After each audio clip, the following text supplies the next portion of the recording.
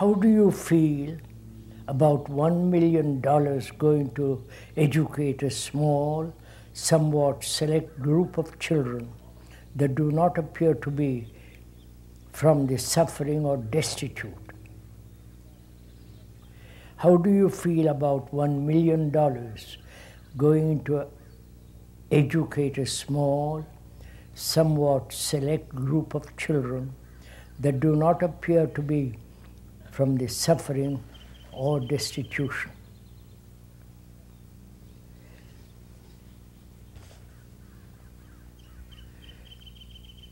What do you think?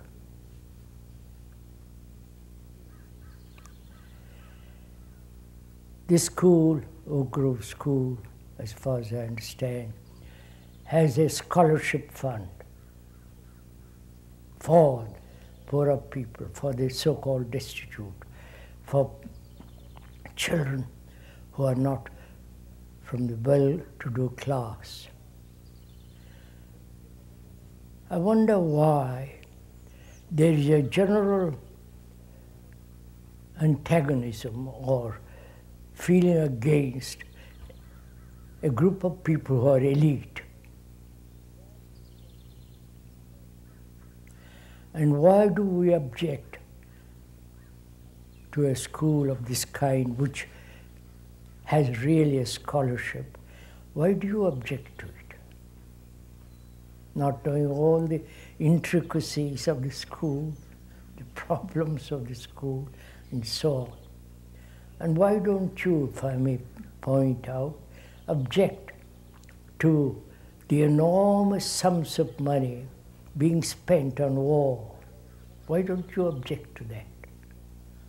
War, not in a particular war, nuclear war, but the whole idea of killing people for one's country. Why do, isn't that much more important to object to that than to this? This is also important. And we have replied to it. That is, this school, Oak Grove School, they are spending a money, million dollars, if they can get it. I think they will get at least half of it. Having a secondary school. And there is a scholarship fund for those who cannot possibly afford the full pay.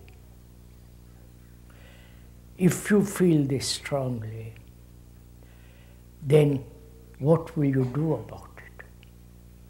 Burn up the place? Or go into the question why, in an affluent society as in America, as in this country, as in this part of the world, why there are people who are starving, who are very little, who are uneducated, who are submit to, submitting to all kinds of horrors.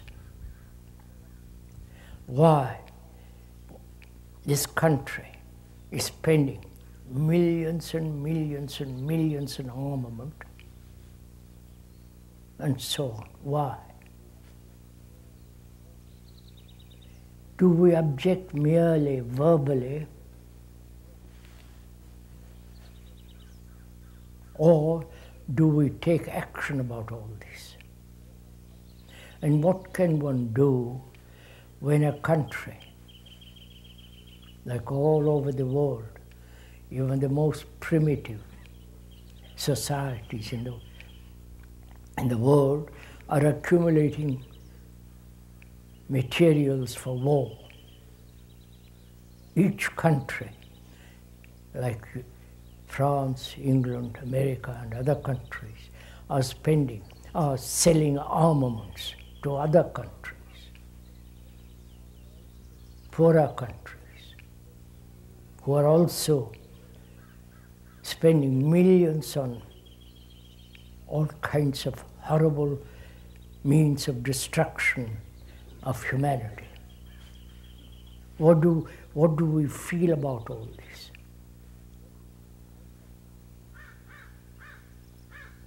And what can one do about all this? It seems almost impossible to stop this destruction of man. So, do we go to the root of all this? Or merely consider not to have certain type of nuclear bombs and so on, superficially? Or do we go into all these matters deeply? That is the core, what is the cause of all this? What's the cause of poverty, not only in this country, which is so affluent compared to the rest of the world?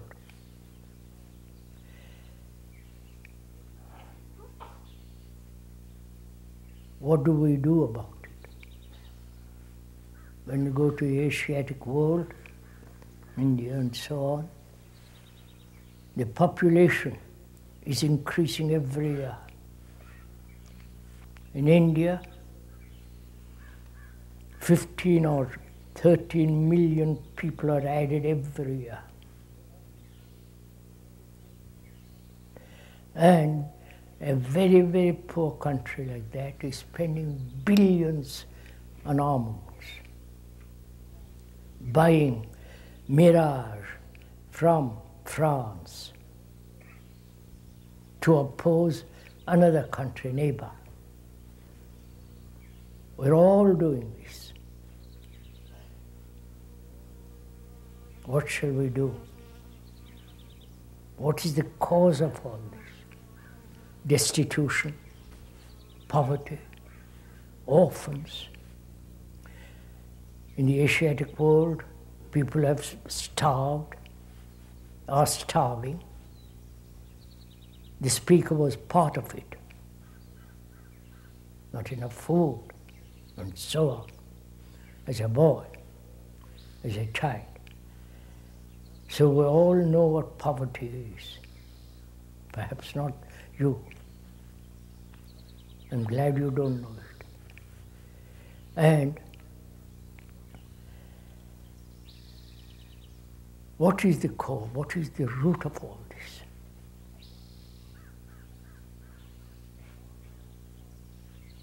Is it national pride?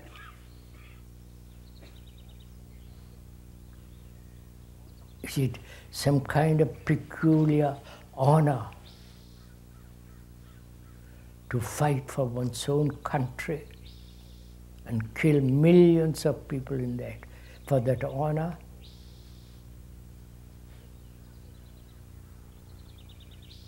What is the cause of this destitution, the increasing poverty in the world? Is it that the nationalism has divided people, and therefore one country is enormously well to do, the other countries are not. Is it possible to have a global relationship, interrelationship, so that economically, socially, as politics, everything is a global problem, not American problem, an Asiatic problem. Can we consider that to stop wars, which is part of destitution, part of this enormous destruction of another human being, who is like you. You may call himself a Turk or an Argentine or a British or Russian, but that human being is like you and me, going through all kinds of misery, hoping for security in nationalism, which is isolation. And in that isolation, there is no security. So, could we, or some group of people, be free of all nationalism?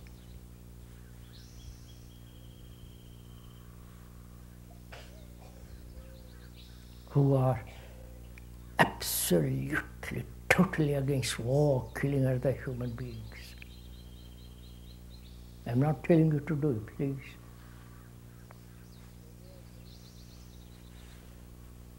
There were in ancient societies a group of people who refused to kill under all circumstances. It was their religious deep conviction that to kill was evil, and if you kill, you'd pay for it next life. Therefore, don't kill. Reward and punishment, maybe, but the idea of killing something, because life is sacred. So, how? If one feels that deeply, one puts aside all tribalism and can governments in the world not accumulate armaments? Seems almost impossible. The world has gone insane. If you don't pay tax, you are sent to prison because you are an objector to all this. And if you buy a stamp, you are sustaining war. If you pay for petrol or gas, it's called in this country, part of it goes to war. So, seeing all this, what is the what is a human being to do? Not only in the school, it's a small affair. What is a human being? Confronting with all these problems, what is he to do? Who is responsible for all this? Governments? Politicians? The group of terribly rich people? Or controlling governments, big corporations. Who is responsible for all this? Hara. Please answer these questions. Isn't each one of us responsible? Because we dislike or a foreigner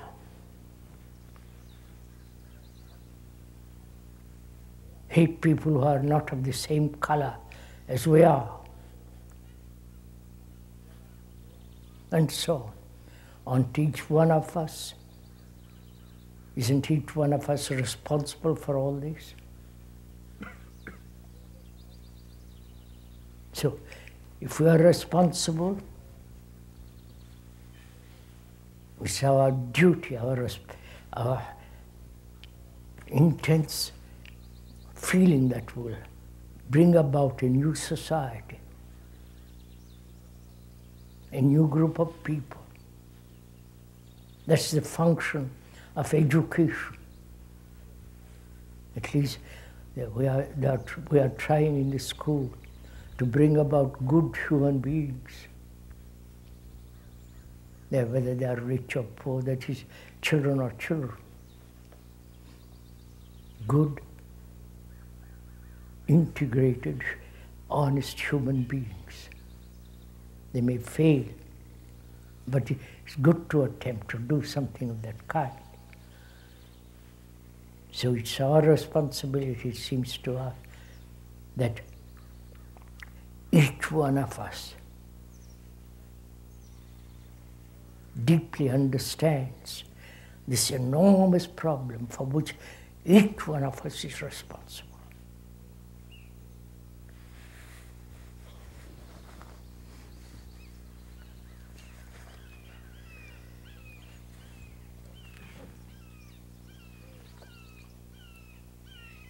You've heard the speaker saying all this. He has said it all over India, Europe, in this country, in Australia, and so on. You listen to all this. And apparently, we don't seem to apply it.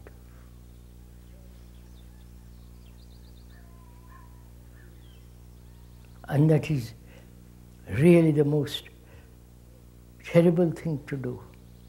If you hear something that is true and not apply it, it acts as a poison. You understand?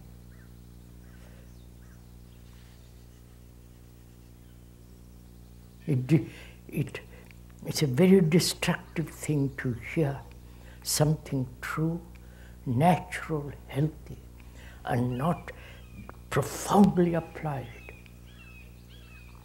Then what you have heard and what you are, what you are brings about a contradiction, and then there's conflict, perpetual conflict.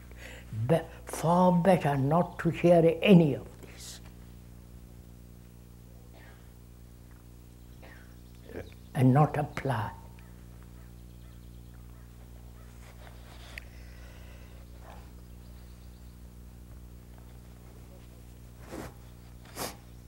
The speaker has a passport, an Indian passport, diplomatic passport. But that paper does not identify himself with the country. That paper is merely for the convenience of traveling.